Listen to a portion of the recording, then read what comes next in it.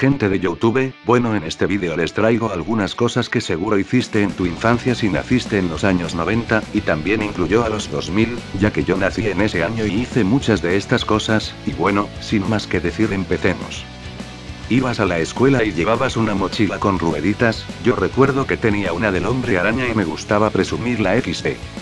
En la escuela siempre cuando la maestra salía del salón, todos nos poníamos a hacer tremendo relajo, tirábamos bolas de papel, nos subíamos a la mesa, gritábamos, éramos tremendo desastre XD, y siempre había uno que se ponía cerca de la puerta y si veía que venía la maestra gritaba, ahí viene la maestra, ah", y ahí arreglábamos todo rápidamente, y nos sentábamos tranquilamente como si nada hubiese pasado. Cuando llegabas de la escuela ibas corriendo al televisor y ponías algunos de estos canales o algunos de estos XDB.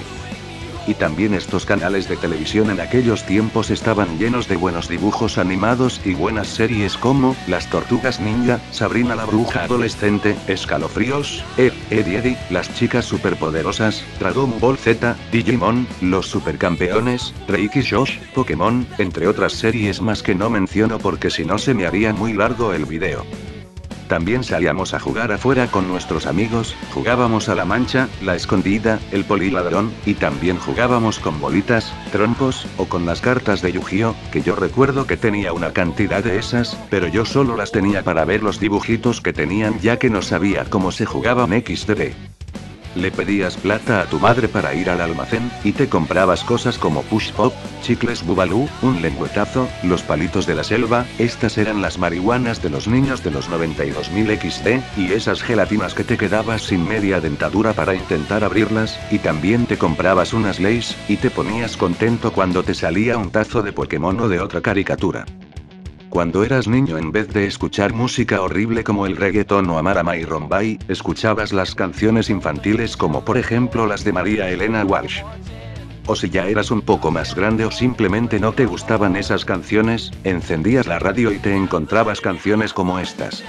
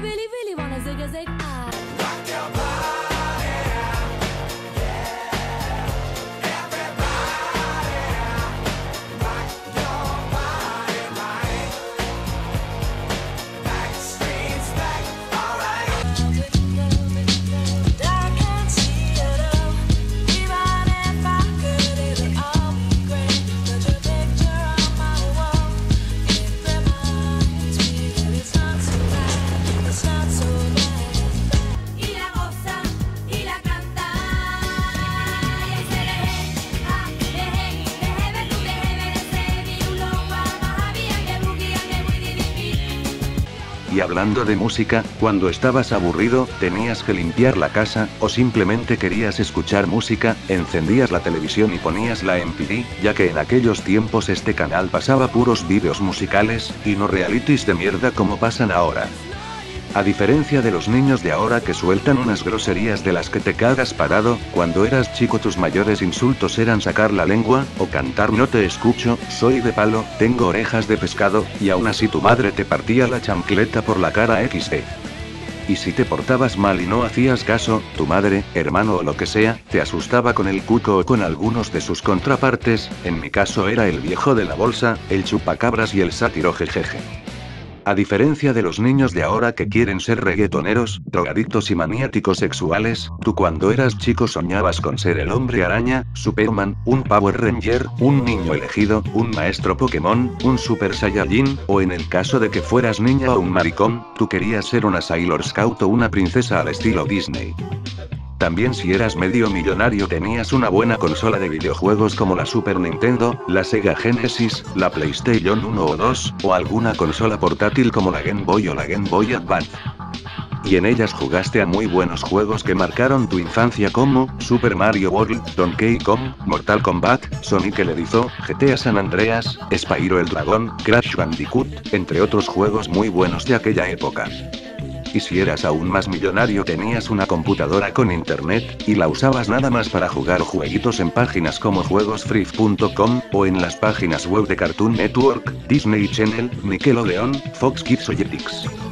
Y si eras un adolescente seguro que tenías alguna red social, pero no me refiero al Facebook o al Twitter, sino algunas redes sociales de aquellas épocas como Metroflog, Hi-Fi, o MySpace, yo en aquellos tiempos lo único que tenía era el MSNXT. Y también veías vídeos de YouTube en aquellos tiempos, cuando no había ningún subnormal fingiendo apuñaladas o hablando de la vida de los demás, sino habían puros vídeos de caídas graciosas, vídeos de terror que a pesar de que eran más falsos que el culo de Kim Kardashian igual te los creías, y vídeos que marcaron un antes y un después en la plataforma como el vídeo del exorcista debajo de la silla, el vídeo de la ruta, obedece a la morsa, la caída de Edgar, los vídeos de peleas de Dragon Ball Z con música de Linkin Park, y los vídeos de algunos usuarios como Dross, el bananero, y un usuario que con esta misma voz sin duda marcó un antes y un después en YouTube, el Anticristo 2007. Y si no tenías internet, seguro que te divertías mucho jugando a juegos como el solitario o el buscaminas, y también jugabas y hacías tus tareas con las encartas, y también jugabas a los primeros Sims, y dejabas que tus familias creadas se pongan todas rojas en sus necesidades XD.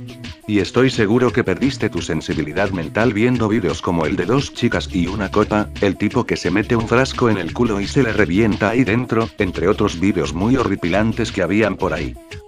Bueno, estas son algunas de las cosas que hicimos en nuestra infancia a los niños de los 90 y principio del 2000, si tú hiciste y viviste muchas de estas cosas, déjame decirte que tuviste una gran infancia, y deberías sentirte orgulloso y afortunado, ya que las actuales y futuras generaciones no podrán disfrutar una infancia así debido al avance de la tecnología, y a lo jodida que está la música, la televisión y la sociedad hoy en día. Y bueno, si te gustó el video porfa regálame un gran like, si crees que faltó algo muy importante que hiciste en tu infancia puedes dejarlo en la caja de comentarios, si quieres ver más videos de este estilo o te gustaron mis videos suscríbete al canal, y no olvides seguirme en mis redes sociales, los links están en la descripción, y bueno, si el liceo de mierda no me rompe las bolas con las tareas les traeré otro video próximamente, y sin más que decir, se despide Crashstad, hasta la próxima.